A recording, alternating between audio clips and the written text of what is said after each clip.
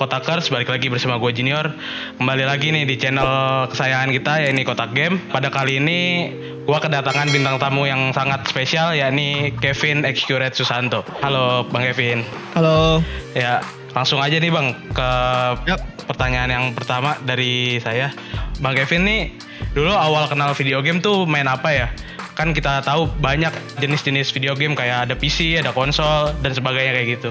Eh, pertama aku sih kenal main paling pertama kayak PS dulu deh Oh, pasti. PS, iya sih. dulu. Saya pokoknya terakhir itu main kayak PS1, PS2 doang. Iya. Nah, dari situ baru mulai beralih ke komputer. Itu Oh. ya itu aku main PS sama komputer doang sih, Bis. Oh Dulu. iya. Dulu pertama kali tuh inget gak sih main game apa pertama kali? Dulu itu ini yang PS1 itu aku ingat banget yang kayak game apa yang kayak Crash Oh Bandicoot iya kayak terus kayak, kayak. Apa sih kayak main bola-bola yang kapten Oh sebuah yang iya. ada jurus-jurus. Iya, bisa jurus-jurus kayak gitu, iya. gitu, ya. Iya.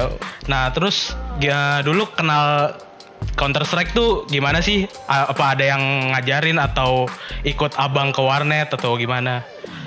Eh, dulu itu jadi sebenarnya emang gara-gara gue dulu gue tuh dari dulu tuh sebenarnya mau jadi main bola dulu waktu kecil. Oh, I- Nah tapi tapi berhubung bokap gue dulu bikin usaha warnet, jadi Oh. gue supaya itu dia tuh kenapa bikin itu karena dia nggak mau anaknya tuh keluyuran gitu loh. oh iya biar nggak Nah, apa namanya? jadi biar- itu ya, ya jadi nah, dari situ gue mulai main terus lah dia di Oh, warnet.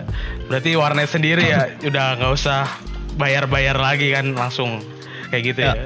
Dulu awal masuk ke skena kompetitif tuh gimana sih? Ada yang ngajak atau gimana tuh? Eh, saya dulu tuh waktu kompetisi tuh gue lagi main sama teman-teman gue sih Oh, kayak iya. bikin tim fun diajakin kan. Nah terus dari tim fun itu baru mulai tuh kayak ada, bi- apa ada yang ngajak, eh coba yuk ikut tim gue yuk main turnamen. Oke gue coba ikut dong akhirnya. Terus akhirnya ya udah main-main-main ya dilihat orang dilirik ya udah main di tim lain abis itu. Oh iya, terus pertama kali tuh ngetim di tim apa sih? Terus sama Dulu tuh ngetim itu dulu yang funnya apa yang udah mulai uh, scene kompetitif? dari awal dari fun terus masuk ke skin scene kompetitif pertama kali tuh. Oke, tim dulu tuh gue awal awal itu ini perseverance itu ada teman-teman dulu lah, Bu- bukan pro player intinya. Nah, terus dari situ perseverance terus gue ke apa dulu ya Batwaki Game sama Oh, temen-temen iya. gue juga. Terus dari situ baru akhirnya mulai meranjak ke ini Jakarta Oh, Juggernaut. iya, Nah, itu Jakarta udah mulai Juggernaut. kompetitifnya. Ya, habis dari situ baru ke PKI Sport, baru ke Tailu Oh iya. dan sekarang NKT.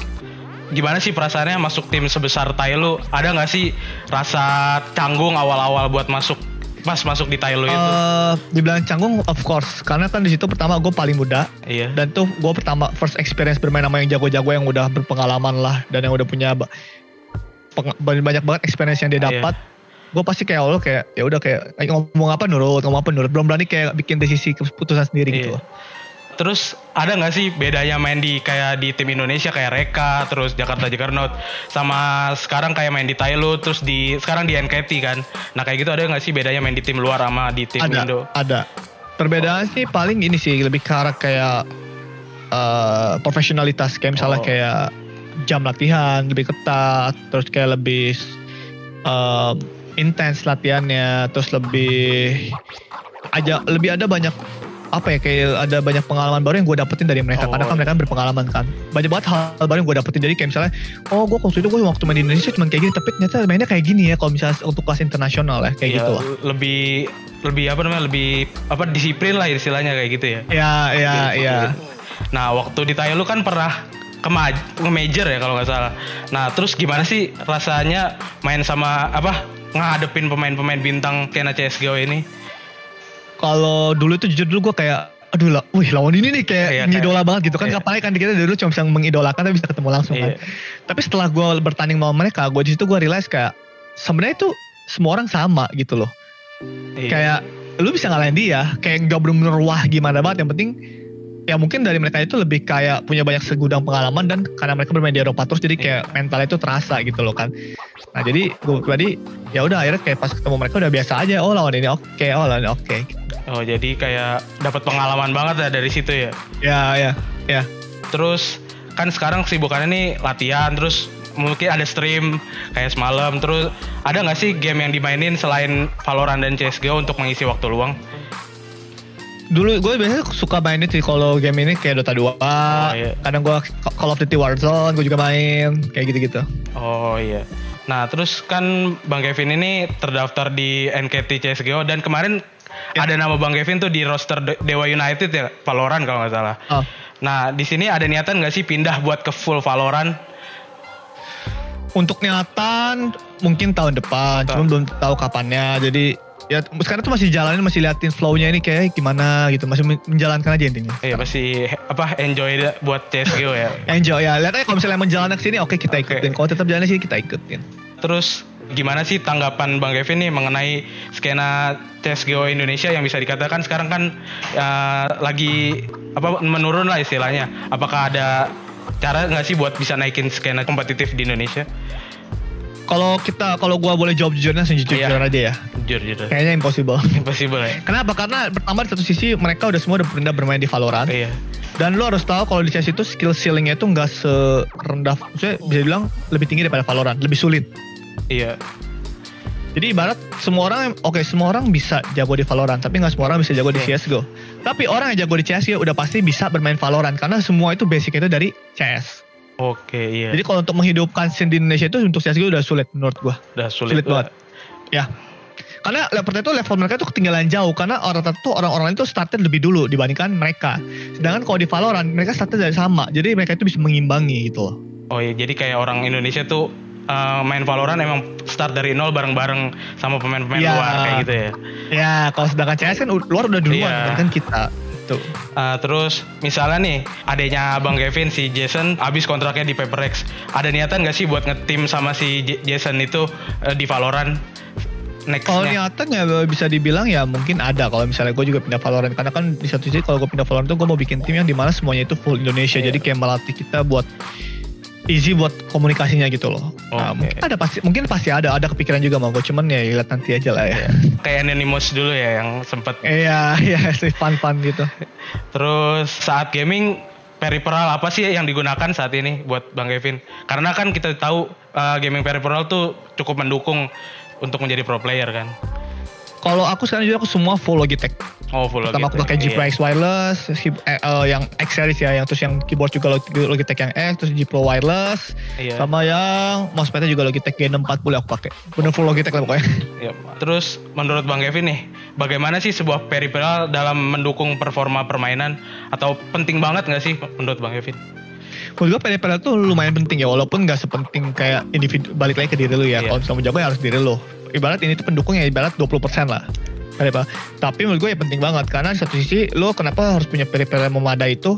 Pertama kayak lu harus cari mouse yang sensornya bagus, terus cuma handsetnya harus bisa denger step and journey. Gak boleh abal-abal yang untuk suara kecil banget. Terus keyboardnya juga harus pas nih, klikannya di tangan gimana, enak gak? Mousepadnya juga halus gak, keset gak, kasar gak. Jadi kan itu kan mempengaruhi semua kayak sensitivitas mouse, move, mouse movement lu, cara lu denger step jadi lebih aware, kayak gitu-gitu. Berarti sisanya bakat sama ke apa namanya kegigihan Hard lu berlatih ya. Ya, ya. Lalu ada nggak sih target apa nih yang paling pingin dicapai seorang Kevin Excurate dalam uh, berkarir di dunia kompetitif e-sports ini? Kalau target jujur yang, yang paling mau dicapai adalah pertama gue mau orang-orang nge-recognize gue kayak wah ini SQL itu satu. Kedua gue mau kayak juara of course. Juara turnamen-turnamen bergengsi, juara major, dapat stiker lagi kalau di CS kan. Kalau misalnya untuk Valorant ya gue juga mau kayak di, Iya. mau dapat CS apa yang gue dapat di CS gitu loh. Dan bisa apa ya? Dan gue bisa berbagi ilmu untuk yang lain lah intinya kayak menjadi inspirasi buat yang Oh. lain itu target gue. Bang Kevin, ada nggak sih pemain idola dari skena kompetitif uh, CSGO maupun Valorant gitu? Kalau CSGO ada, gue of course semua orang tahu ini pasti simple Ah, itu iya. The best player in the world. Kalau Valorant mungkin gue sekarang lagi suka nontonin Nuts karena dia Oh. kayak kalem-kalem gimana gitu, kalem-kalem tapi bener-bener kayak pinter banget mainnya, smart. Jadi nggak rusuh, tapi kalem tapi efektif. Nah, Iya. aku, aku suka nonton dia. Mungkin kan kita mau ada Valorant Champions nih. Menurut Bang Kevin nih siapa yang bakal juara di Valorant Champions? 1 2 3 dah, 1 2 3. Kalau fansnya jujur aku berdua aku nggak terlalu mengikuti gimana Iya. banget perkembangan yang paling menurut aku yang lagi kuat-kuat sekarang itu antara Gambit, Iya. Sentinel mungkin bisa jadi lagi. Terus Essen. Ini aku sebut top timnya aja Iya. ya. Eh, top tim yang kayaknya berpeluang juara lah. Iya. Essen, Fnatic. Terus Gambit.